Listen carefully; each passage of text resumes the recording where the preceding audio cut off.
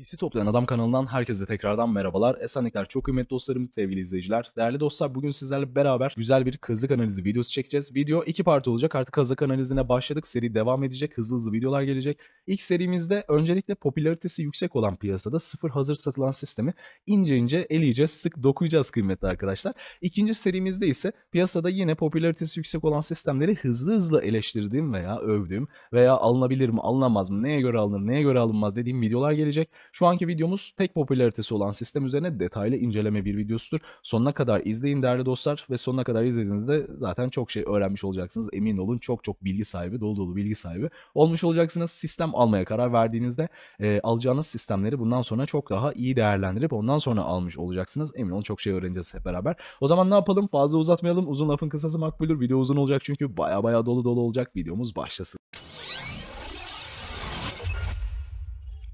Başlasın. Bu arada kıymetli arkadaşlar videoyu beğenip kanala da abone olmayı unutmayın. 20 bin aboneye yaklaştık. 20 bin abone olduğunda RTX 3070 Ti çekilişi yapacağız. Kazanan kişiye şöyle güzel bir babalar gibi RTX 3070 Ti ekran kartı vereceğiz kıymetli insanlar. Bunu bu yüzden şu an buraya koydum. Sergide dursun insanlar görsün diye. Şu anda yanımızda PTA'da, Discord'da adminimiz olan Pagvi namı değer Burak bulunuyor. Ekip arkadaşlarımızla birlikteyiz. Ceren burada ama işi vardı. Gitti biz Burak'la devam edeceğiz. Şimdi ee, Burak'cığım Hazır mıyız? Evet. Biraz böyle gülerek. Evet. Ee, sen Discord'daki kameranı kapat da bilgisayarın kalsın. Şimdi arkadaşlar e, laptop'tayım. Laptop'ta olduğum için e, size bugün güzel sponsorluklardan da bahsedeceğim. Nvidia GeForce Now'dan da bahsedeceğim. Bu yüzden laptop'tayım. Dandirik şöyle bir Toshiba laptop buldum kendime. Buradan hem yayın verebiliyorum hem güzel güzel oyunlar oynayabiliyorum. E, hem de GeForce Now'ı tanıtmam için güzel eşsiz bir fırsat sunuyor bana.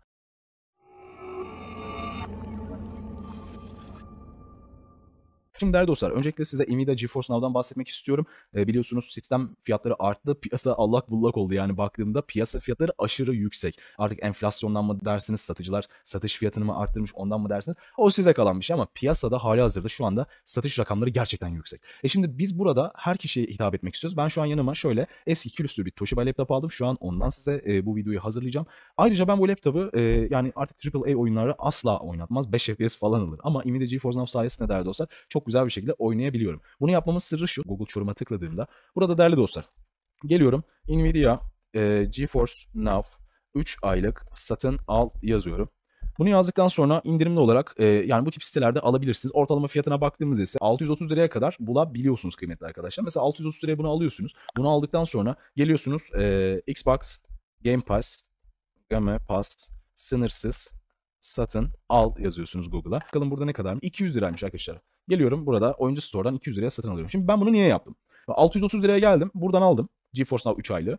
Buradan da sınırsız Game Pass aldım. Ne kadar etti size? Eder size 800 e, aynen 830 liraya ben bu işin içinden çıktım. 830 lira bana ne kazandırdı? 1. GeForce Now 3 aylık ben aldım değerli dostlar. Külüstür bilgisayarında. İnternetim ortalama 20 megabit olursa benim için kafidir. Upload'ım ise 2 megabitin yukarısında olsa benim için kafidir. Kablolu olarak bağladım değerli arkadaşlar. Daha sonradan geldim. Xbox kütüphanesinde PC Pass olan kütüphanesindeki oyunların çoğu burada mevcut. O zaman ne yaptım? Sınırsız key'imi aldım. Mesela sınırsız key'de size bir hesap veriyorlar. Gidiyorsunuz Microsoft Store marketinize onu giriyorsunuz o hesabı. Sonra çıkış atıyorsunuz. Kendi normal Xbox hesabınızı giriyorsunuz. Böylece oyun ne olmuş oluyor? Size e, Xbox Game Pass gelmiş oluyor değerli arkadaşlar. Sistemin mantığı bu şekilde çalışıyor. Öğrenirsiniz sıkıntı olmaz kolay bir şey. Mesela geldim.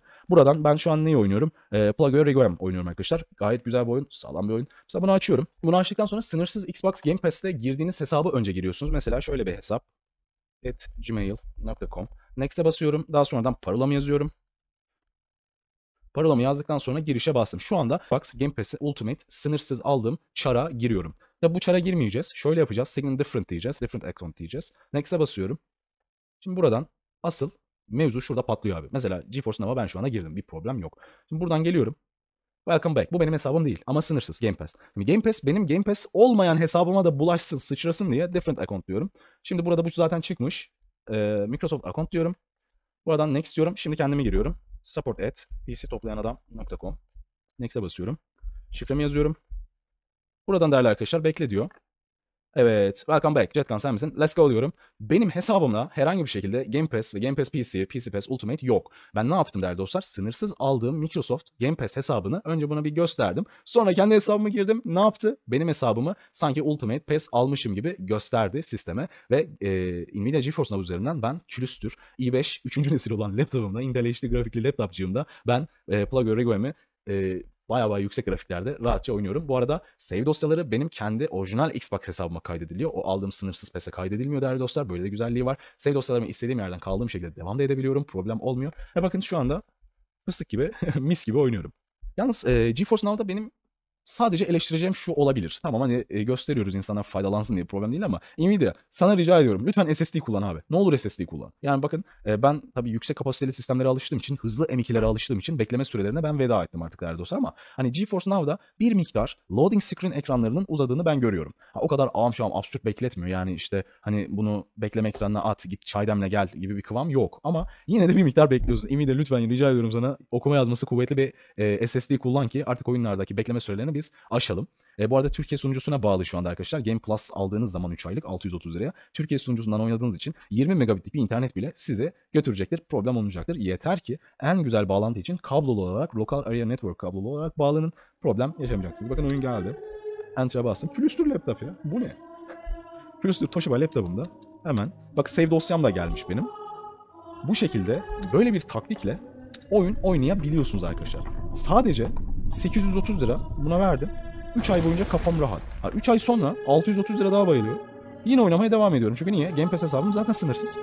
Bu şekilde iyi bir bilgisayar alacak bütçeye sahip değilseniz abi ben 20 bin 30 bin liralar param yok ama ben oyuncuyum ya benim ne farkım var ya bana ne ben de oynayacağım diyorsanız alın size oyun. Ha, lag olarak baktığımızda lag yani gecik, gecikme süresi olarak baktığımızda sonuçta bize stream edilen bir oyun oynuyoruz. Yani bunda gecikme süresi MS dediğimiz şeyler olabilir ama Nvidia GeForce Now bunu sunucularının özellikle Türkiye'ye taşıyarak Turkcell'le de işbirliği yaparak Game Plus'la beraber bu gecikme sorunu ortadan kaldırdı. Sanki gerçekten benim kendi bilgisayarımdaymış gibi bir hissiyata kapılıp oyun oynama deneyimi sunuyor bize arkadaşlar. Bir problem teşkil etmiyor. Yüksek bağlantıya ihtiyacınız yok. Dediğim gibi 20 megabit e, download, 2 megabit upload yeterli olacaktır. Yeter ki internetiniz stabil olsun, kararlı olsun değerli arkadaşlar. Bu yüzden de stabil olması için wireless'la değil de kablolu olarak bağlanın. Gerisini GeForce Now'a bırakın. E zaten sınırsız X, e, Xbox Game Pass'iniz var. Oyunların tadını çıkartın kendi Xbox hesabınızda, kendi sevlerinizle, kendi başarı puanlarınızla beraber arkadaşlar. Külüstür makinelerde oyunun tadına varabilirsiniz. Hele hele şöyle bir e, kontrolcünüz varsa bir PlayStation 4 alın, DS4 Windows veya Xbox kolu alın kendinize. Kolla bile oynayabilirsiniz. Bu arada PS4 kolu aldığınızda orijinal almanıza gerek yok. Hani hepsi burada da satılan ne bileyim şöyle bir 500 liralık bir kollar bile hani Bluetooth'unuz olduğu zaman DS4 yazılımıyla beraber ki bu yazılımda ücretsiz DS4 Windows yazılımı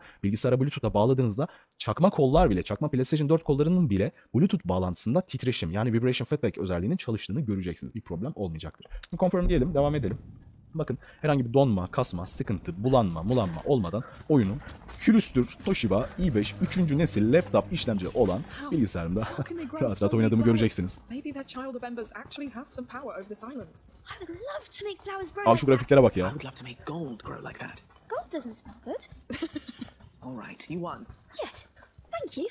Bakın mesela gecikmeyi şöyle biz e, hesaplayalım. Mesela bakın şu anda koşma tuşuna bas. look Bakın anında. Sola dön, düm. Grinders. Sağa dön, düm. Lag yok. Gördüğünüz gibi. Yani gerçekten sanki kendi laptopumda gibi rahat bir şekilde oynayabiliyorum. Ben ne yaptım şu anda? 3 ay boyunca kendimi kafamı rahatlattım. Yani Game Pass'le beraber hiç oyun satın alma derdim bile olmadan sınırsız Xbox Game Pass'le beraber kendi Xbox hesabımda GeForce Now üzerinden istediğim gibi Xbox oyunları ki dolu doludur Xbox kütüphanesi değerli dostlar. Hiç satın almadan para vermeden oyunlara sadece 830 liraya küçük makinemle ben oyun oynama zevkine vardım. Sanki sistemimde böyle bir RTX 3080 ekran kartı takılı gibi sanki şöyle 20-25 bin liralık bir sistem almışım gibi oyunu çok rahat bir şekilde açıkçası oynayabiliyorum. Müthiş bir deneyim açıkçası arkadaşlar. Efsane bir şey. Şu grafiklere bak ya. Görüyor musun? Efsane bir şey. ESC'ye basıyorum arkadaşlar. Ee, mesela oyunu sıkıldım. Confirm dedim, kaydettim. Ha bu arada GeForce Now şöyle 6 saat boyunca sürekli oyun oynadığınızda 6 saatin sonunda çıkıp tekrar girin diyor. Yani tekrardan oyunu kapatın tekrar açın diyor. 6 saatlik bir limitleme var. Başka da bir şey yok yani. 6 saatin sonunda tekrar çıkıp hemen girdiğinizde bir 6 saat daha size oynama süresi veriyor. GeForce Now bu şekilde değerlendirebilirsiniz. Sadece 8-30 süre işin içinden sıyrılabilirsiniz. Yani artık bilgisayar için o kadar daha bütçenize e, para bayılmanıza gerek yok. Böyle bir alternatif de var. Ama bana ne ben her ay her 3 ay boyunca ya da her 12 ay boyunca paramı bayılacağım kardeşim. Bir kere toplayayım adam gibi 5-6 yıl kullanayım diyorsanız hadi gelin direkt videomuza geçelim. Sistem eleştirisine başlayalım değerli arkadaşlar. Bu arada bu tür şeyleri de aşağıda açıklamaya linkini koyacağım alabilirsiniz. Hatta bizim web sitemizde açıldı değerli arkadaşlar. Uygun fiyatlı sistemler için biz artık e, piyasadaki kazıkların önüne geçebilmek için daha uygun sistemler çıkarabilmek için satışlara devam ediyoruz. PCToplayanadam.net üzerinden değerli dostlar. Sitemiz bu arada düzenleniyor hala. Buradan değerli dostlar alışveriş yapabilirsiniz. Sitemiz düzenlenmeye devam edecek. Piyasa fiyatının altında hizmet sunacağız sizlere. Yine gıcır gıcır kazıksız güzel bilgisayarlarla sıfır kutulu faturalı garantili bilgisayarlarla değerli dostlar sizlere hizmet vermeye devam edeceğiz. Burada da sitemizi açıklama kısmında yine bulabilirsiniz. Lafı uzatmayalım. Teşekkür ediyorum. Videomuza geçelim artık. Şimdi öncelikle bakıyoruz. PC Toplayan Adam kanalımız, Discord'umuz girebilirsiniz. Aşağı açıklama kısmında linklerimiz mevcuttur efendim. Sizlere bunu söyleyeyim. Burak kameranı kapatabilirsin şu anda. İnsanlar seni gördü. Sıkıntı yok. İkinci el PC toplayan şişman Burak olmuş oluyor kıymetli arkadaşlar.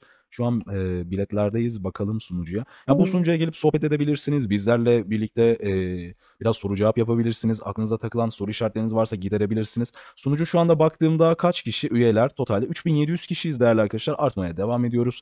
E, sunucuda şöyle sohbetler edebilirsiniz. Bir sürü üyeler var. Gelir gelmez kaydol butonuna basmayı unutmayın. Linkler açıklama kısmında. Aynı şekilde WhatsApp grubumuza desek daha doğrusu. Aşağıdaki açıklama kısmındaki linkten gelebilirsiniz. Kanalımıza abone olmaya, kanalımızı takip etmeye, videomuzu da beğenmeyi unutmayın diyorum. Hadi gelin başlayalım. Şimdi konsept şu şekilde. Burak e, PUBG'cimiz ikinci el toplayan şişman, pis toplayan şişman bize şu anki güncel olan, trendlerde olan bilgisayarları atacak. Hazır sistemleri atacak. Biz de onları kazık analizini yapacağız. Değerli arkadaşlar bu arada piyasada bulunan bütün ekran kartı, işlemci, anakart, bütün aklınıza gelebilecek bütün konfigürasyonları fiziksel olarak da test ettiğim için, denediğim için herhangi bir sıkıntı, sorun olmadan e, %100 nereden baksanız doğrulukla beraber analiz yapacağız. Nelere dikkat etmeniz gerektiğini size söyleyeceğiz. Piyasada kazık yememeniz için elimizden gelenin en iyisini yapacağız. Şimdi Burak'cığım linkler hazır mı? Attın mı?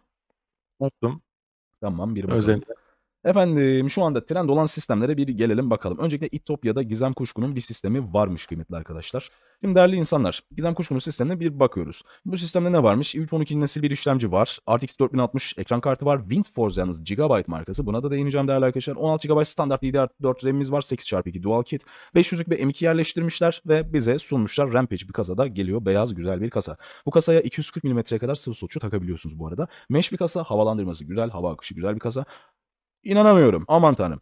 Şimdi arkadaşlar bunun 20 bin lirada bir fiyatı var. Ee, uygun mu deseniz? Evet şu anda trendlerde uygun mu? Bana göre şu anda ilk etapta uygun gözüküyor. Fakat ince olarak, stratejik olarak düşünürsek o zaman işler değişir, çarşı karışır diyorum. İtopya'da selam olsun bu arada. İtopya Mert e, tanıyorum, Mert'i tanıyordum. Selam olsun kendilerine. İtopya bana göre şöyle bir şey. Kampanya çıktığı zaman değerli arkadaşlar efsane sistemler yapıyorlar. Gerçekten kampanyaları güzel. Yani mesela yüksek takipçili YouTube platformlarına böyle biraz influencerlarla çalışıp güzel bir kampanya, proje, sistem çıktıklarında uygun fiyatlar yakalayabiliyorlar.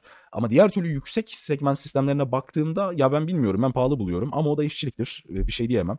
Ortası yok yani bana göre. Uygunluğu yakaladığınız zaman İtopya çok güzel. Ama diğer yüksek segment sistemlere baktığınız zaman ben biraz fiyatlandırmanın yüksek olduğunu düşünüyorum. Naizane benim kendi eleştirim. Bir bakalım. Öncelikle Akakçı analizini hızlı bir şekilde yapalım. Bunu zaten Türkiye'ye getiren tanıtan ilk YouTube kanallarından bir tanesiyim Akakçı analizi. Ondan sonra influencerlar Akakçı analizi yapmaya başladılar. Şimdi bakın i3 12100F nasıl bir işlemcidir? Intel'in giriş seviye bir işlemcisidir. Yani 1080p oyunculuk için üretilmiş olan bir işlemcidir kendisi. Ama üzerine yüksek segment ekran kartları takarak çözünürlüğü arttırıp 4K'ya kadar ulaşmanıza imkan tanır. Intel'in fiyat performans işlemcilerinden bir tanesi. Ama ben İtopya'ya şu konuda biraz e, eleştiride bulunacağım. Ya abi 12100F yerine bakın 12100F en uygun Akakçe'de siz son tüketiciler ne kadar alıyorsunuz? 2500 liraya alıyorsunuz. Aynı şekilde tekrardan geliyorum Intel'in i3 13100F'i var mesela. 13100F. Daha sonradan Akakçe'ye tekrar geliyorum. Buradan en düşük fiyata çekelim. Ee, Akakçe'de i3'ün 14. nesli çıktı mı Burak? Çıkmış olması lazım. İ3 Evet. 14100F olması lazım o da. Bir bakalım. Çıkmış. En düşük fiyat. Şimdi bak İtopya. 12100F koyuyorsun anladım 2500 liraya son tüketicide en uygun Akakçe'de bulunabiliyor. 13100F'e baktığında 2999 lira. Ya arkadaşlar üstüne bir 500 lira daha atın. Gidin 13. nesil takın. H610M bunu destekler mi? Evet arkadaşlar H610M bunu destekler. BIOS upgrade, update yaparsanız ki Etopya'da yapacaktır zaten sorun olmayacaktır. 14100F'e baktığımızda tamam aradaki fiyat uçurum olmuş oluyor. Araya artı 1750 lira bir kazık çakıyor yani. Şu anki piyasada baktığımda 13400F avantajlı mı? Bana göre avantajlı değil. Niye? 1300F 3000 lirayken 1400F'e artı 1750 lira verilir mi? Bana göre verilmez kazık. Bunun temel sebebi de şu. i3 13100F benchmark olarak matematiksel metrik verilerine baktığımızda Şöyle bir karşılaştırma yapalım. Bir de 1400F'in benchmark'ına bakalım değerli arkadaşlar. Hemen bakalım. Şimdi cpubenchmark.net Passmark'a teşekkür ediyoruz bize matematiksel değerleri, verileri sunduğu için öncelikle. Şimdi bakın 13 14100F'e bakalım. 14100F'te arkadaşlar 4 çekirdek var, 8 thread var. Bakalım 13100F'e. 13100F'te de aynı şekilde çıkması lazım. Aynen. 4 çekirdek 8 thread var. Değişen bir şey var mı? Yok şu an gözükmüyor. Total bench puanına baktığımızda 14.000'lerde görüyoruz. 14.100 F'i de 15.000'lerde görüyoruz. 15.300. 14.600. Arada o kadar hani belirgin bir fark yok. İki işlemci arasında oyunlarda değerli arkadaşlar 5 FPS ile 10 FPS arası bir açılım görüyoruz. Normal AAA'lerde mesela. Hadi rekabetçilerde, işlem gücüne dayalı oyunlarda ona bir şey diyemem. Yüksek FPS'li oyunlarda ama AAA'ya baktığımızda arada o kadar bir devasa FPS farkı yok iki işlemci arasında. E baktığımızda aşağıda e, TDP'sini falan ben umursamıyorum değerli arkadaşlar ama sıcaklığa etki ettiği için bakalım. Tipik olarak 110 Watt çekiyormuş 14. nesil. 58 Watt 13. nesil. 13. nesil bir de ısınmıyor yani. 14. nesil ısınıyor. TDP'si yüksek. Aşağı indiğimde baktığımda tam sayı matematik mesela e, buna baktığımızda hatta çeviriyi kapatalım. Ben İngilizce olarak metrik verileri öğrendiğim için İngilizce devam edelim. Daha anlaşılır. Integrated mat, rasyonel puantaj hesaplamasında mesela baktığımızda 14100 F'de e, 45 e, MB saniyede işlem hacmi görüyoruz. Ve baktığımda burada 45 GB özür diliyorum. Bakın 13100 F'de 43 GB. Ha, değişen bir şey yok. Ee, ondan sonra aşağı indiğimde baktığımda floating point mat önemli kayan nokta hesabı değerli arkadaşlar. 13100 F'de 33 GB saniyede işlem hacmi görürken burada 35 görüyoruz. Arada o kadar bir fark yok iki işlemcilerde. Matematiksel veriler de bunu söylüyor. E, arada o kadar büyük fark yokken ben 14100 F'e 13100 F dururken neden 1750 lira fazladan para vereyim ki? Ne gerek var? Saçma. O yüzden 14. nesili tık eledim. Bitti. E şimdi baktığımda e, İtopya 12100 F kullanacağına gitseydin üstte 500 lira daha fazla olan değer tabii bu son tüketici fiyatı sana daha ucuza gelecektir sen bir esnafsın. E, üstte 13100 F alsaydın çok daha mantıklı olurdu. Ha yine şunu söyleyebilirim 12100 F ile 13100 F arasında çok çok çok devasa belirgin bir fark yok. Yine aynı açılım 14100 F gibi. Ama değerli dostlar şöyle bir durum var ki 500 liraya değer mi? 500 liraya daha yeni bir nesil. Biraz daha FPS arttırımı evet değer. 500 lira bunun için bir şey değil. Keşke 13100 F ekleseydi çok daha tatlı olurdu, çok daha ballı olurdu diye düşünüyorum. Büyük bir ihtimal şöyle yapmış olabilirler. Elinde 12100 F çok sayıda işlemci kalmıştır ve bu işlemciyi de bu sistemde değerlendirmeye çalışıyor olabilirler. Yoksa bu sisteme ben hak eden işlemci olarak 13100 F görmek isterdim. Efendim aşağıya inelim şeffaf bir şekilde doğrusuyla yanlışıyla devam edelim. Şimdi Gigabyte'ın H600 dönem bir e, anakartını kullanmışlar. Bu anakart giriş seviye bir anakart değerli arkadaşlar Intel'de. M.2 SSD tabii yuvası var takabilirsiniz bir adet. Ama şunu söyleyebilirim bu anakartta değerli dostlar ekran kartı yuvası PCI Express X16 Gen 4. M.2 SSD yuvasına baktığımızda Gen 3 yani siz bunun üstüne Samsung 980 Evo gibi KC Kingston 3000 gibi M2'ler takarsınız yine çalıştırır ama hızı 3900 MB saniyeden fazla vermez. Halbuki bu M2'ler az önce saydım 7000'lere kadar ulaşan hızlara sahip ama bu anakarta bunu yapamazsınız çünkü M2 slotu geniş değerli arkadaşlar. Aşağı inelim bakalım. RAM'e bakalım. Good RAM vermiş. RDM mi vermiş? Evet RDM vermiş. Şimdi bu Good RAM'e baktığımızda değerli arkadaşlar Hynix ya da Micron çip yapısıyla beraber geliyor. CDI olması lazım yanlış hatırlamıyorsam. Overclock'a elverişli mi? Overclock'a elverişli yani yarım overclock'a elverişli diyelim. Normalde 3200 MHz bir RAM'i siz anakarta BIOS'a girdikten sonra DRAM overclock'tan, e, DRAM frekanstan e, 3600'e yükseltebiliyorsunuz normalde. Ama çip kalitesi, silikon kalitesi iyi olan RAM'lerde değerli arkadaşlar. Şimdi ama bu RAM'e baktığımızda siz bu RAM'i 3400 MHz'den fazla bir frekans verdiğinde yani total üzerine artı 200 MHz'den fazla bir overclock yaptığınızda siyah ekrana karşılaşıyorsunuz. BIOS pilini çıkartmanız gerekiyor. Yani overclock o kadar elverişli mi deseniz o kadar değil. 3400 falan olur değerli arkadaşlar. Nitekim baktığımızda bizim anakartımız zaten 3200'e kadar destek veriyor değerli arkadaşlar. Bunu 3400 yapmanın bir mantığı yok yani. Ee, anakarta uygun bir RAM seçmişler. Stok olarak çalıştırıldığında ise ancak manuel e, cache value'dan manuel olarak cache latency tepkimesini düşürürsünüz ki Intel'de tepkime çok önemli RAM'lerde. Yani cache değerini de CL15 yapardım. Ben manuel olarak ayarlardım. Güzel. RAM'lerde de problem yok. Aşağı inelim bir bakalım. Şimdi ekran kartı GB. Geldik buraya. Şimdi normalde 3000 serilerinde değerli dostlar bildiğiniz gibi 3070 Ti ve sonrası için Gigabyte'ın e, E-Eagle modellerini ben önermiyordum. Çünkü niye? Bellek o kadar sıcak çalışıyordu ki yani termal petler baklava kadar inceydi yani açıkçası. Ama 4000 serisine geldiğimizde Nvidia ve RTX'ler üzerinde çok çalışma, ARGE deneyleri yaptım ben. E, RTX 4000 serisinde kesinlikle ne marka alırsanız alın. Sıcaklığı kafanıza takmıyorsunuz. Çünkü bellekler dahil olmak üzere ki Nvidia kartlarının en büyük handikapı bellekler biraz ısınıyor 3000 serilerinde. Bellekler 4000 seride ısınmıyor değerli arkadaşlar. Bütün bellekler yani hangi marka alırsanız alın soğuk çalışıyor. O yüzden WindForce'a bir laf edemeyeceğim. Yani size e, götürür mü? Sağlıklı bir şekilde götürür. Ortalama Furmak değerlerinde bu kart ne kadar çıkıyordu? Yani bellek sıcaklığını normalde size göstermezler. Furmak'ta çekirdek gösterirler. Oyunlarda temperature yazar ama o çekirdek sıcaklığıdır. Bellek ortalama 57 ila 63 derece arasında seyrediyor Furmak'larda bu kartta. Ben kullandım biliyorum. Bu kartta çekirdek sıcaklığı önemli. Ee, şimdi 2 yıldan sonra bunun termal macunu çekirdeğin üstünde kuruma yapmaya başlayabiliyor ve çekirdek sıcaklığı 75'i görebiliyor değerli arkadaşlar. Ama normalde sıfır aldığınızda çekirdek sıcaklığı tam yük altında ortalama 65-67 arası seyredecektir. Yani soğuk mu? Soğuk bir kart. Performansını veriyor mu? Performansını veriyor. Muadil bakımından bakarsak da RTX 3000 serisinden Asus Dual Overclock RTX 3060 Ti kıvamında bir kart olduğunu söyleyebilirim. İkisi birbirinin muadili değerli arkadaşlar. Yani 4060 yerine ben 3060 Ti'm varsa hemen hemen aynı performansa denk gelir. Değerlendirebilirim değerli dostlar. O stratejiye değineceğiz. Şimdi Rampage'in Helios Mesh'ini vermişler. Bakın kasa çok güzel. Problem yok. Ama 550 wattlık bir power koymuşlar. Şimdi yükseltilebilirlik açısından incelediğimizde tepesine bunun 240 mm'lik bir sıvı solucu takabiliyorsunuz siz. E bu ne demek oluyor? E, H610M'imiz var. Ben bunun e, ileride üzerine i5 13400F bile kullanabilirim. Nitekim 2K'da 13400F ile beraber ben bunun üstüne RTX 4070 Ti'ye kadar takabilirim rahat bir şekilde. Problem olmaz. E şimdi böyle bir durumda 13400F ile RTX 4070 Ti kombinasyonuna yine 550 Watt yetecektir. Ama sistem işlemci ve ekran kartı bakımından tam yüke girdiğinde ani sistem kapanmalarıyla karşılaşabilirsiniz değerli dostlar. Yani yükseltme bakımından biraz power sıkıntılı kalmış. Power'ı ben minimum şöyle bir 650 Watt 750 Watt beklerdim açıkçası ama maliyetten kısmak için Böyle yapmışlar. Yapacak bir şey yok. Ee, M2 SSD'sine bakalım. Ya kasa çok güzel dediğim gibi. Hava, alan, hava akışı falan buz gibi. Problem değil. Biraz küçük bir kasa ama sıkıntı yok. Ee, fakat power bana göre olmamış. Aşağı inelim. M2 SSD'sine bir bakalım. M2 SSD, M2 SSD. Abi ne kadar yükseltilebilir parça var. M2 SSD'de de good RAM kullanmışlar. Normal 2000'e 1600'lük bir M2 kullanmışlar. 3D NAND'i var. Kontrolcüsü güzel bunun değerli dostlar. E, good RAM'in. Fakat okuma yazmada biraz düşük kalıyor. 3000'in altına ben inmesini istiyorum ama 2000'e 1600'de işinizi görür mü? Evet işinizi görür. Yani e, Gigabyte'dan mesela BIOS'ta Gigabyte'ın e, boot sekmesine girdiğinizde ultra fast denilen bir özellik var. Onu açtığınızda bilgisayarın açma tuşuna bir tıklıyorsunuz tık diye. Ondan sonra bilgisayar 3 saniyede direkt sistem masaüstü geliyor yani değerli dostlar. Ki bu M2 e, bunu karşılar mı? Evet. E, bunu karşılar. Problem yine size çıkartmayacaktır. Fakat şöyle bir durum var değerli arkadaşlar. Aşağı indiğimde M2 özelleştirmesine baktığımda bakıyorum yani good RAM artı bakın şöyle. E, artı 400 lira verilir mi? Verilir PX 600 için.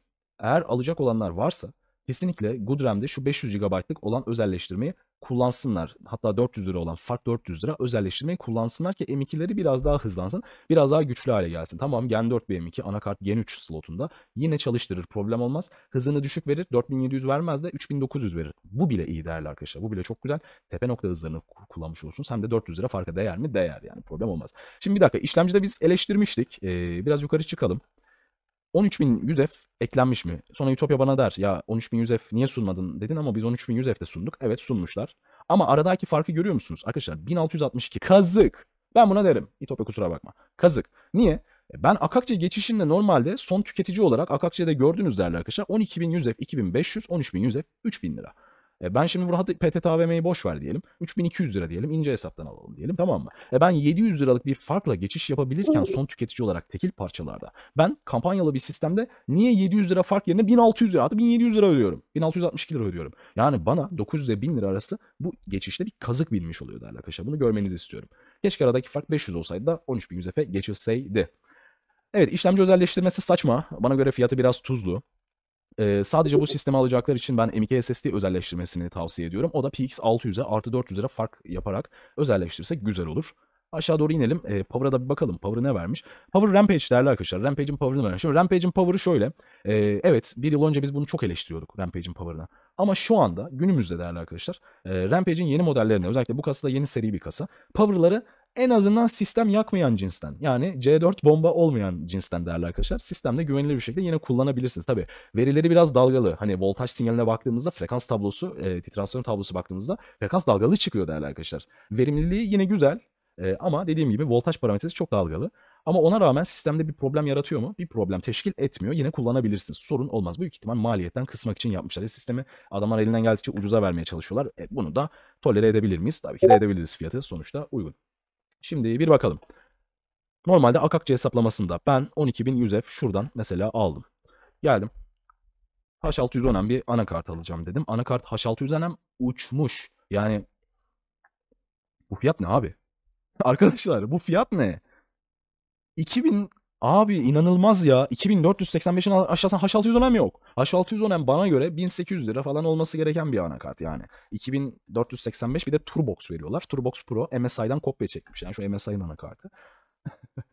İnanılır gibi değil yani şu fiyatlara bak ya. Hadi gelin aynı muadil parçalar değil de Akakçe'den e, yine benzer performansı veren aynı çipe sahip e, benzer parçaları en uyguna mal etmeye çalışan. Mesela RAM aldım diyelim 2 çarpı ne alabiliriz? E, TT Vulkan TAF'lar falan uygundu. Ona bir bakalım. 3200'lerden e, kapasite 8 GB 16 GB frekans 3200 şunu kesinlikle girelim. 3200 2 çarpı 8 ee, buradan 2.8 en düşük fiyata bakalım. Popülerlik en düşük fiyat. Şimdi baktığımızda değerli arkadaşlar en, aynen dediğim gibi TMT Vulkan TUF Allianz bu güzel güzel bir RAM problem çıkartmıyor değerli arkadaşlar. 3400 MHz'e kadar yine problemsiz bir şekilde Cache Latency 16'da siz overclock yapabiliyorsunuz. SK Hynix chip yapısına sahip. Hynix'in kaliteli çiplerinden geliyor. Problem var mı? Problem yok. Yani Apacer Panther yerine Hynix AFR yerine bakın Panther o kadar stabil bir RAM değil. Yani tamam 3200'ü tutabiliyor sorun değil ama stabilitesi o kadar iyi değil. Mesela ben üstüne bir 3400 MHz overclock yaptığımda mavi ekranlarla karşılaşabiliyorum. Niye? Çipi Hynix AFR bir kalitesiz bir çip. Ha, Apacer Panther pahalı. Yani ben Türkiye piyasasını anlamadım. Şimdi bak e, TMT Vulkan TUF Alliance daha kaliteli bir çipte 1300 lira. Apacer Panther daha kalitesiz bir çipte ama daha pahalı. Nasıl olabiliyor? Bu daha ucuz olmalı normalde. İşte Türkiye piyasası malın kalitesine göre değil de büyük ihtimal talebe göre şekillendiriyor satıcılar fiyatı değerli arkadaşlar. Ben buradan bunu anlıyorum. Şimdi TAF aldık, Allianz aldık tamam. Ondan sonra 500'lük bir M2. Mesela ne alalım? Adamlar good RAM vermiş ama SSD yazalım. Şöyle Gen 3'ünden bir SSD alalım. PCI Express 3 olsun. Ee, kapasite. Kontrolcüsü de olsun hadi. Sonradan laf ederler. Abi onda kontrolcü vardı. işte 3D dandiği vardı. Senin gösterdiğin M2 dandik. Falan filan demesinler diye. Şöyle 500'lüğün en düşük fiyatına bir bakalım. Intenso geç, geç, geç. Patriot. Ha Patriot da güzel. Fena değil arkadaşlar. Ee, şuradan alınabilir. Bakalım bakalım bakalım. Patriot P30 Intenso biraz daha kaliteli olsun. Dova değil. Xteria. Mesela Xteria alalım. Yani Patriot'a 960 lira vereceğime giderim bir tane Xteria çakarım. Bitti. Şimdi buradan bir de kasa power. Ee, kasa ve power'ı ayrı alalım. Aslında kasa 550 watt. Uyguna veriyorlar mı? İkisi bütün halinde uyguna veriyorlardı eskiden ama şimdi çüş 2000 lira olmuş. Ben gider kasayı ayrı alırım, power'ı ayrı alırım. Daha ucuz öderim veya aynı fiyata daha bir iyi bir iş yaparım. Mesela kasalarda değerli arkadaşlar. Bitfienix'in kasası çok güzel bana göre. Apollo APL 300'ler falan var. Ee, bir bakalım. Kasa kasa kasa. Nerede bu? Mesela e, Game Power. Game Power'a bir bakalım. Hatta Rampage kasaya bakalım. Kasa birebir aynı olsun. Bir bakalım Rampage'in kasası ne kadarmış merak ettim. Ee, buradan 1600. Abi bu fiyatlar ne ya? Burki? Efendim? Kasa fiyatları ne olmuş abi böyle? Efendim? Her şeyin zamı geldi işte.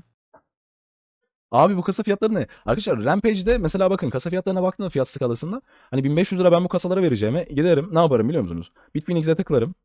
Bitfienix güzel bir marka. Tavsiye ederim. Kasaları sağlam yani. Sıkıntı yok. En düşük fiyata çekerim. Al sana Bitfienix abi. Giderim mesela Helios Hel 300 alırım. Hani bunda değişebilen bir renk yok maalesef ama yani ne alırım? Helios 3 fanlı alırım. 600 watt kendinden mi geliyor? Bir bakalım N11'e. 600 watt içinde geliyorsa Bitfienix'in power'ı güzel. Ee, tümünü kabul et diyelim. He, power'sız geliyor arkadaşlar. Şöyle bakalım. Hmm, Neler olmuş neler ya. Bakın mesela burada en en en içler acısı olan şey şu. Bakın Bitfienix Apollo tamam güzel bir kasa ama renkleri değişmeyen bir kasa. Sadece şuradaki RGB şeridin rengi değişiyor değerli arkadaşlar. Buna rağmen en ucuz 1756 lira. Bitfienix Nova Mesh'e baktığımızda Nova Mesh çok sağlam bir kasa. Bakın çok sağlam, güzel, kontrolcüsü olan, arkada kontrolcü kartı olan, renkleri animated değişebilen, güzel, sağlam bir kasa. Temper camı müthiş kaliteli bir kasa. Ulan arada sadece 80 lira fark var ya arkadaşlar. Yani bakın orta kalite bir kasa ile güzel kalite bir kasa arasında 80 lira fark var. Ne oldu? Niye? E, Bitfienix Apollo APL 300, APL 300 dedik. Ucuz kasa dedik. Güzel kasa dedik. 1300 lira alın dedik. Lan talep gelmiş. 1756 lira olmuş. Nova Mesh'e bakıyorum. Arada 80 lira var. Nova Mesh bundan çok daha iyi bir kasa. O zaman ben artı 80 lira veririm. Nova Mesh alırım ya. Bu nedir abi? Hadi Nova Mesh alalım değerli arkadaşlar. Şimdi bir bakalım. Power, Pisu. Abi kasayı çok pahalı aldım diyenler olabilir ama arkadaşlar kasada zevkler ve renkler tamam tartışılmaz. Fakat ben e, bilgisayarda binlerce bilgisayar topladım. Ve ben şunu önemsiyorum artık. Yani kasa gerçekten e, önemli. Yani o bilgisayara o kadar para vermişsiniz. Baktığınız zaman içinizi açacak ya. Yani ben buradayım diyecek yani. O yönden kasadan e, kesinlikle itibardan tasarruf etmeyin yani. ben size bunu diyeyim. E, şimdi Power'a bakalım. Power Supply'de mesela 550 wattlıkları ne kadara veriyorlar? Hani ben bir 650 takmak isterdim açıkçası ama bir 550'ye bakalım, bir 650'ye bakalım. Her şeye zam geldi her şeye. Harbi ya piyasanın içinden geçmişler be Burki. Mesela 550 watt, Yapabilecek bir şey yok.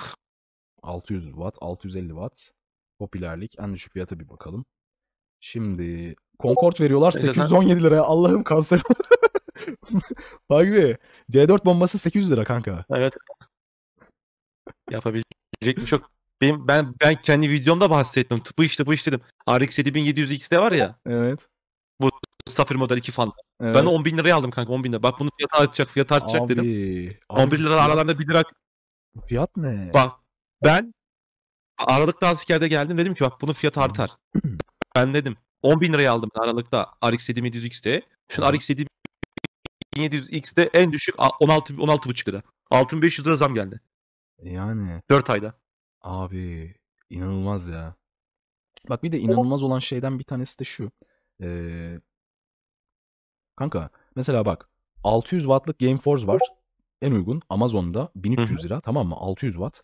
Aynı şekilde GameForce'un GF 550 wattı var. Bak 550 watt 1250 lira. 600 watt 1300 lira. 50 liraya 50 watt veriyor. Piyasaya bak abi. Ulan inanılır gibi değil ya. Gerçekten inanılır gibi değil. Şimdi bir dakika buradan değerli arkadaşlar biz şunu çekebiliriz. Mesela GameForce'un üreticisi Türkiye arkadaşlar. Yani Türkiye'de üretiliyor. Ye- yerli bir mal. E, fason üretim değil yani yerli. E, gayet içi de güzel. Ben baktım. Yani bir problem teşkil eden bir power değil. Hatta kutusu mutusu duruyorsa burada. Game Power Gearfist serisi siz göremiyorsunuz ama şurada kutusu var. Ben bunu kullandım çünkü. E, güzel bir power. Alınabilir bir power.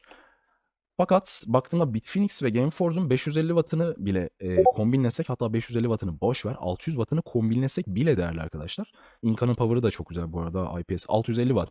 Ulan ben anlamıyorum. Şimdi bak 550 watt'tan 600 watt'a 50 lira ödüyoruz geçiş için tamam mı Akakçe'de. 600 watt'tan 650 watt'a geçiş için 13 lira ödüyoruz. Abi inanılmaz bir piyasa ya. Gerçekten Inca'nın arkadaşlar 650 wattlık power'ı gayet sağlam power'dır. Gayet kaliteli güzel bir power'dır. Şimdi ben bunu dedim ayvayı yedik. Tekrardan bu power zamlanacak. Ama yapacak bir şey yok yani. 750 wattı ne kadarmış peki? Çüş. Bu iyi. 650 watt idare eder. Güzel. Şimdi 650 watt zaten Bitfinex'e kombin yaptığımızda buradan ne gördük biz? 3100 lira, 3200 3100 lira üste koydu zaten. 3100 liraya biz 650 watt kasa. Daha iyi bir şeyler bulabiliyor muyuz? En düşük fiyata bakalım. X Apage'inkini veriyorlar mesela. X Apage güzel. Problem yok değerli arkadaşlar. Ama ne var burada? X Apage'de de e, Valor Air mi veriyor? Valor veriyorsa güzel. X Apage'de düz mü veriyor? Bakalım bir. X Apage'de ha e, arkadaşlar X Apage'de ATX veriyor. E, burada BKC WW veriyor. Ben bunu biliyorum. Bu biraz küçük bir kasa ve arkadaki egzoz fanı RGB'li değil değerli dostlar. Temper camı da o kadar kaliteli değil yani. Küçük bir kasa olduğu için ben X Apage'e 3300 vereceğime gider yani gider büyük Bitfinex kocaman böyle Nova Mesh içine 4080 bile sığdırabileceğim bu kasayı alır. Üstüne de Ink IPS'e kombin ederdim. Yani buna bu fiyat verilmez. O yüzden en düşük fiyatı çekelim. Biraz kaliteden ödün verelim ya sıkıntı değil. Ee, biz de Game Booster yapalım yani. Kendileri Rampage yapmış biz de Game Booster yapalım. Sıkıntı değil. Son olarak ne kaldı değerli dostlar? Ee, Stock Fan çekeceğiz çünkü. Son olarak bir de ekran kartımız kaldı. RTX 4060. Bir bakalım bakalım 4060'a. Evet. Yayınımız var mı? Var. Şimdi 4060'da da en düşük fiyat dediğimde çüş. Ekran kartları da artmış bak bir. Her şey arttı diyorum ya. Harbiden artmış. Şimdi arkadaşlar 4060'a baktığımda en ucuz e, Gaming TR'de Galax görüyoruz. RTX 4060 e, 10.636 lira. Verilir mi? Soru işareti. Şimdi bak 4060 Ti. Bir bakalım. 10.600 4060. 4060 Ti'ye geçtiğimizde ise RTX e, 3070 kıvamında bir kart. Biz artı 3900 lira üstüne eklemek, para vermek zorundayız. E şimdi bakıyorum artı 3900 liraya ben artı 12 FPS kazanıyorum AAA'de ortalama. E şimdi değer mi? Soru işareti. Yani piyasa allak bullak olmuş. Yani biz profesyoneller bile bu piyasada biraz yorulabiliriz. Çünkü mesela ben şöyle düşünüyorum. Bir yıl öncesinde para oldukça boldu. Yani piyasada para boldu. Parça azdı ama. Şimdi piyasada nakit yok, para sıkıntısı var. Parça bol. E parça bol olduğu için bir sürü konfigürasyon var değerli arkadaşlar. E bir sürü konfigürasyon arasında da ne kazık, ne iyi, ne kötü bunu seçmek profesyoneller bile buna zorlan bunda zorlanabiliyor açıkçası. Ya ben açıkçası 4060 ile 4060 Ti arasındaki geçişin artı 3900 lira üste koymasını e, açıkçası kınıyorum. Niye? Çünkü çok kazık. Kazık yani. Artı 12 FPS için niye 3900 lira fazladan para vereyim? Ya saçma. 4060'ın fiyatı bile saçma şu anda. Ki ben burada satıcıyı suçlamıyorum. Gaming'ini suçlamıyorum burada arkadaşlar. Niye suçlamıyorum? E, çünkü fiyatı zaten zamlı geliyor. Yani satıcının yapabilecek bir şey yok. Adam zaten zamlı almış. Saçma. Burki. 10.600 liraya 4060 kanka. 3060 Ti kıvamında. Nasıl fiyat? 3060 Ti'nin fiyatına bak. 3060 Ti'nin fiyatı. 3000 serileri kaldı mı sıfırda? Zor. Ee, satılıyor hala. Bakalım bir. Halen satılıyor. Ekran kartı. Bakalım. Excel veriyorlarmış. Ee, 5700X'te Artec. Artec Hyperion. Artec Hyperion 3060 Ti'de değerli olsa bellek sıcaklıkları yüksek bellek sıcaklıklarıyla karşılaşta, karşılaşabildiğimiz bir marka kendisi. Oğlum 3060 Ti'nin fiyatı 4060'dan daha pahalı. Niye bunu yapmışlar? Millet Evet. 4060 alsın diye. Emin ol yani. Yoksa 3060 Ti 12500'e verilir mi lan? Çıldırdık mı biz ya? Bu piyasa ne abi? Bu ne? Bu ne? Ah. Şimdi hadi gel hesaplayalım toplayalım. Hesap makinesi yazalım şuraya. Ya hemen hemen İtopya'daki bu fırsat sisteme e, yaklaşabilen bir sistem ucuzundan çıkartmaya çalıştık bu allak bullak piyasada. 2450 lira kasaya yazacağım değerli arkadaşlar. 2450 artı. Bakalım. Ekran kartı 10636. 10636 artı. E, işlemcimiz 2500 lira. Artı anakart 2485. Ondan sonra RAM'imiz 1300 RAM artı. Bir de M2'miz 1050 1050. Total 1, 2, 3, 4, 5, 6 parti mal var. 6 parça mal var burada. Doğru. Eşitlere bastığımda 20.421 lira ediyor Akakçe'den ben e, buradaki satılan sistemin hemen hemen bir muadilini yakalamaya çalıştığım zaman en ucuz yollu olarak değerli arkadaşlar 20.400 lira ediyor. Bu da şu anlama geliyor ki eğer sıfır olarak faturalı garantili olarak bu piyasada bir bilgisayar alacaksak buradaki sistem evet uygun mudur? Uygundur. Kazık var mı? Kazık şu anda görünmüyor değerli arkadaşlar ama ben ne beklerdim? 4060'ın zaten gücü 3060 Ti kıvamında olduğu için 3060 daha doğrusu 4060 e, gücünde hemen hemen olduğu için ben bunun şöyle bir 18 bin lira olsa tadından yenmez de beklerdim ama piyasanın kendisi pahalı olduğu için satıcıya bir şey diyemiyorum açıkçası. Uygun gözüküyor mu? Evet şu anki piyasada uygun gözüküyor ama Abi ben bu kıvamda bir sistem almak istiyorum ama benim bu kadar param yok. Bana daha iyi bir şeyler topla ama daha güzel bir şeyler olsun diyenler varsa ben risk alacağım. Risk almanın getirisi de güzeldir diyenler varsa ben ne yapardım? Kişisel olarak, bireysel olarak şunu yapardım. Gelirdim abi. Şimdi kasa fantezi işi tamamen. Ben kasayı elimden geldikçe uyguna tutardım. Mesela kasa 550 watt derdim. En düşük fiyata tıklardım. Buradan değerli arkadaşlar mesela şunun kadar dandirik bir şey almazdım ama giderdim. Hemen hemen temper camı olan yine bir şeyler olan biraz da mesh olsun isterdim ben ya. Performans falan da değil. Oğlum bu kasalar ne ya? Vento 3100 çüş. Yapacak bir şey yok. Şunu alırdım ön tarafı sökerdim değerli arkadaşlar. Şimdi gelirim. Gelin güzel bir şeyler yapalım sizinle. Ha, ben olsam ne yapardım? Mesela gelirdim. Hepsi burada da şu kasayı ben alırdım. Tamam mı? Şu kasanın ön tarafını sökerdim. Bunu size söyleyeyim. Efendim daha sonra gelirdim. Ee, hani ben Intel değil de Intel 12000 e, yani 12100F'e yaklaşan bir işlemci var. 12100F'in muadili bildiğiniz gibi Ryzen 5 5500 işlemcinin ta kendisidir. Ryzen'da anakartlar ucuz. Mesela gelirdim buraya e, anakart yazardım. Bakın direkt B450, B550 gibi chipset yazdığınızda çıkmıyor. Piyasanın en uygun anakartı şu anda Ezrock B550 HDV olması lazım en performanslı, en fiyat performans anakart olarak. Teyit edelim, doğrulayalım. Anakart yapısı değil, e, soket tipi AM4. Buradan AM4. Ha şimdi şöyle diyenler olabilir. Abi işte işlemcide Intel'de ben H610M'in üstüne yükseltme yapabiliyorum ya. 14. nesil Intel takabiliyorum. Tamam doğru da chipset H610M. Tutup bunun üzerine 14700 KF takarsın ama performansı cortlatırsın. Anlatabiliyor muyum? Bir de bu yönden bak. Bir de bu yönden, bu yönden bak yani.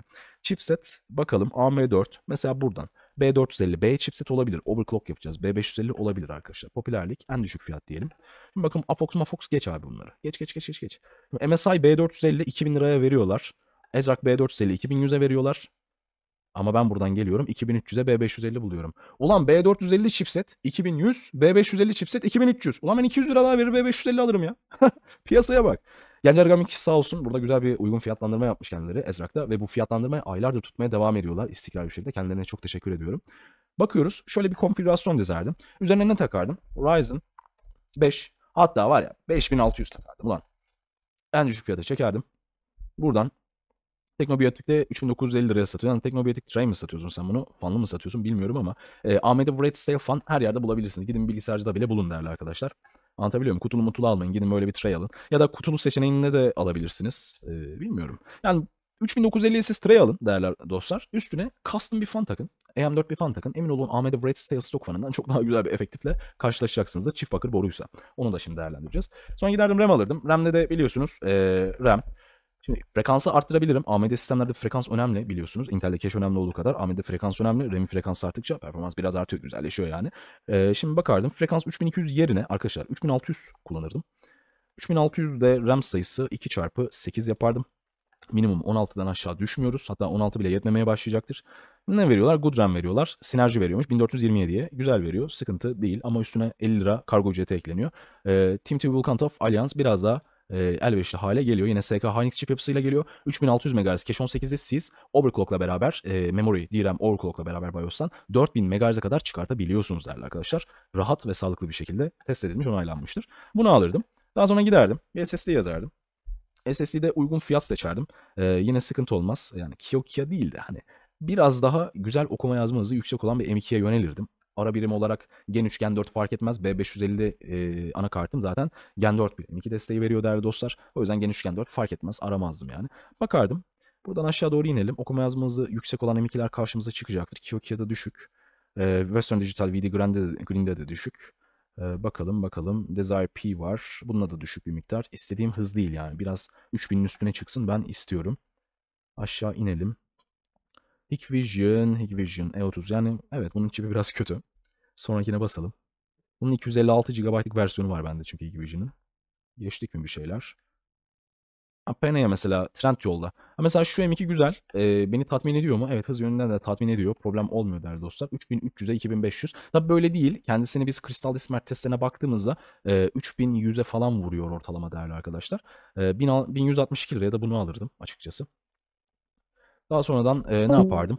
1, 2, 3, 4, 5 parça ekran kartı kaldı. Ekran kartını da kimse kusura bakmasın. Hani benim buna verecek 20 bin lira o kadar da param yok. Risk alacağım. Risk alacağım ama hem daha iyi bir performans alacağım hem daha az bir para ödeyeceğim diyenler için bu geçerli. Ben olsam bunu yapardım. Bireysel olarak kendim olacaksam. Sen giderdim. e, ekran kartı kartı sahibinden de param güvende kullanın bu arada. Param güvenliğinin sebebi şu. Alıyorsunuz, takıyorsunuz, test ediyorsunuz. E, sıcaklık testinden geçiriyorsunuz. Problem sıkıntı yoksa onay veriyorsunuz. Problem sıkıntı varsa sarıp geri yollayıp paranızı alıyorsunuz değerli arkadaşlar. E, tüm çerezleri kabul et. Şimdi param güvende de ortalama eklenen komisyon fiyatları 5-6 bin lira arasında 500-600 lira arasında değişkenlik gösteriyor diye biliyorum. Yanılıyorsam yorumlarda düzeltin. Şimdi buradan ben gelirdim. E, kelimeyle filtrele 3060 Ti yazardım.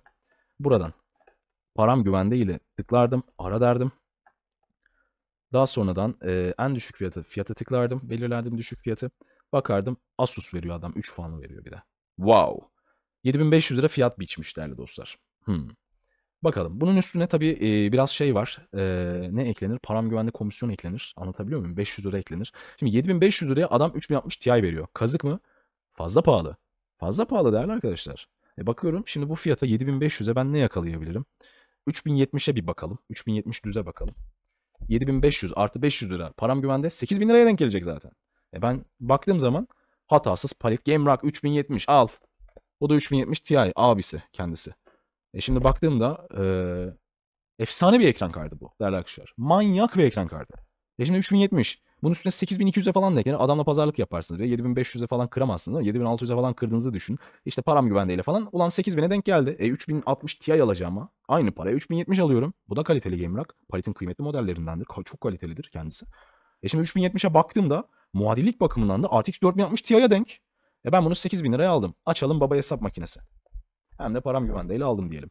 Şimdi giriyorum. Bakalım neler yaptık. 1162 M2 SSD'miz var.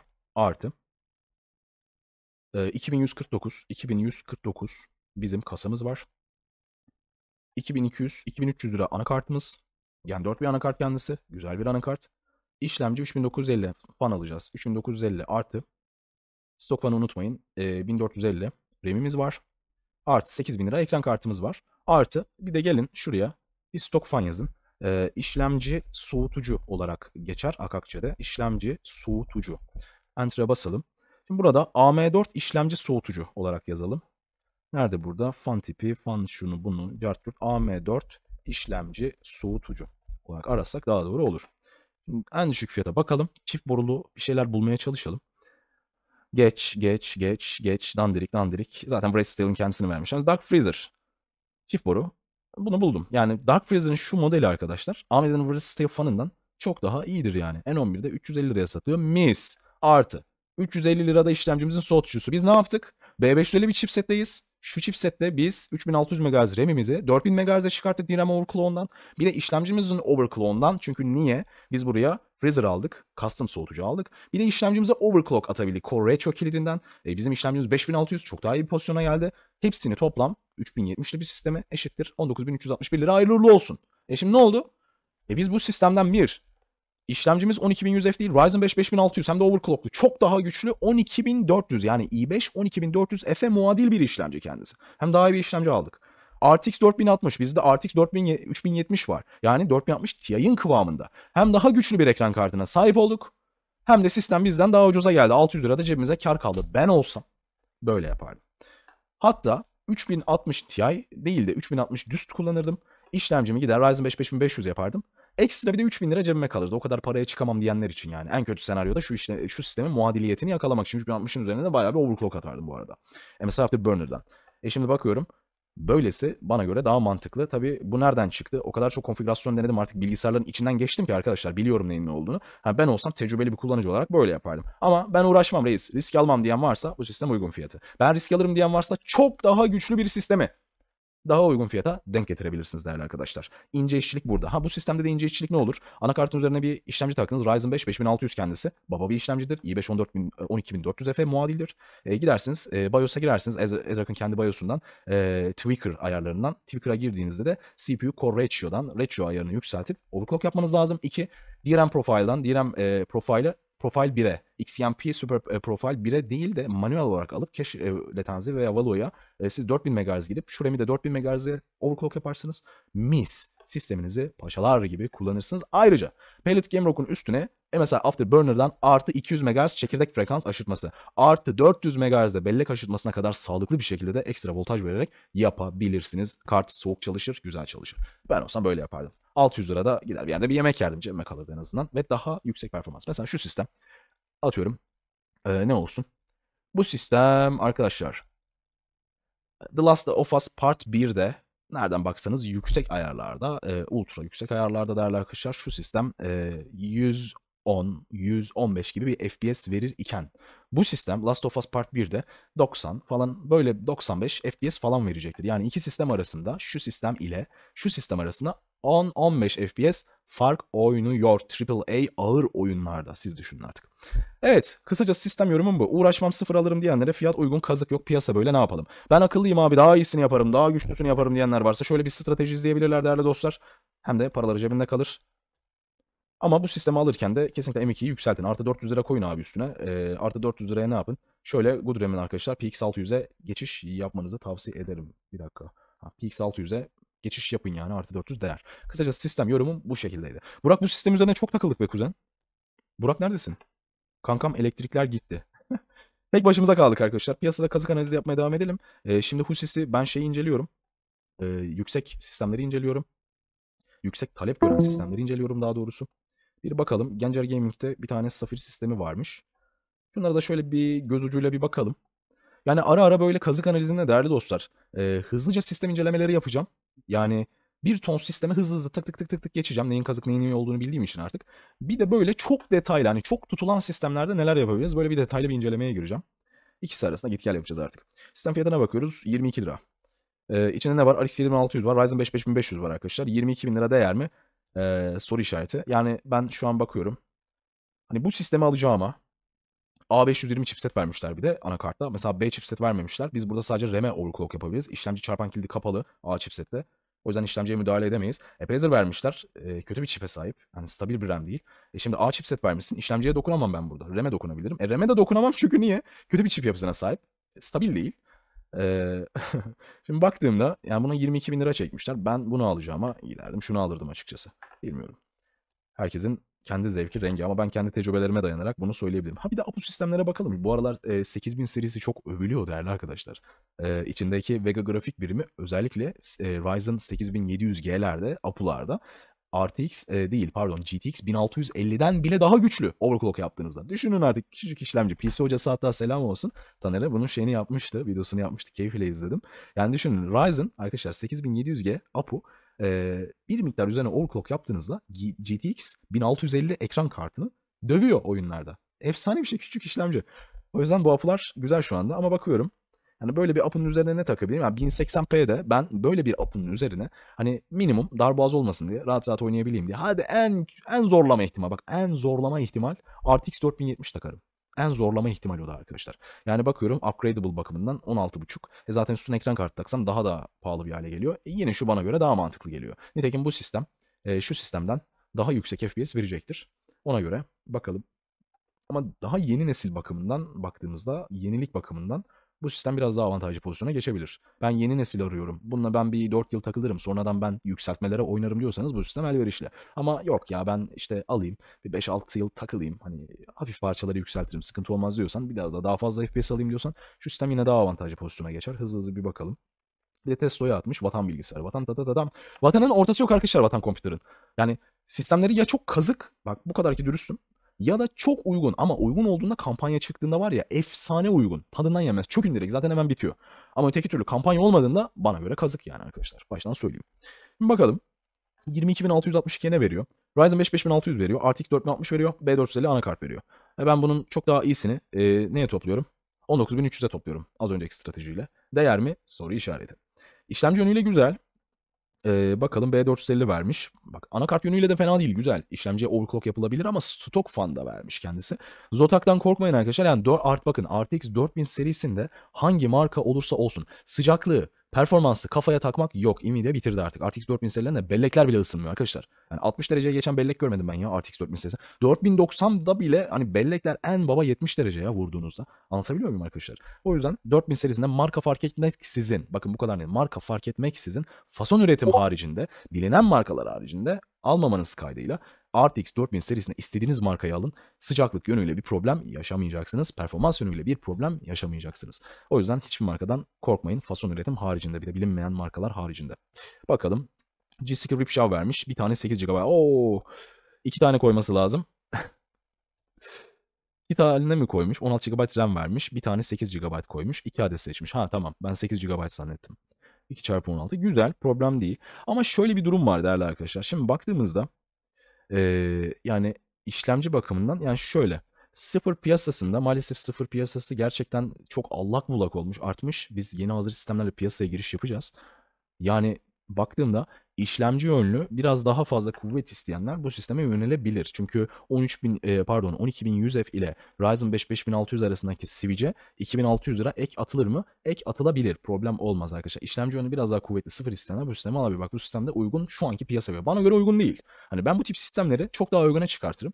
Bana göre uygun değil ama maalesef piyasaya göre şu anki şartlara göre uygun gözüküyor. Bir kazık gördüm mü? Bir kazık göremedim şu anda arkadaşlar. Ama ne beklerdim? 21.999 olsaydı ya da 21.599 olsaydı tadından yenmezdi değerli arkadaşlar.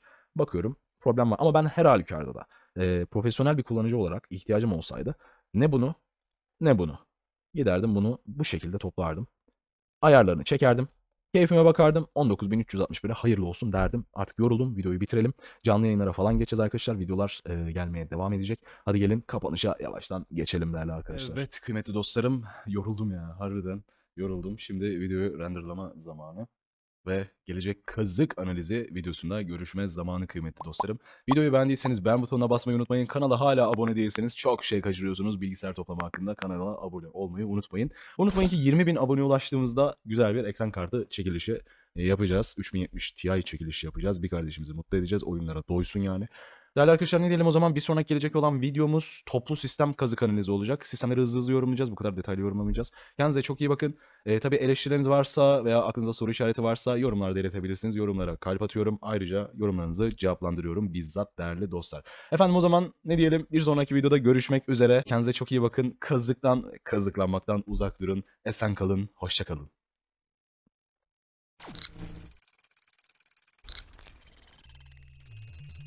Mm-hmm.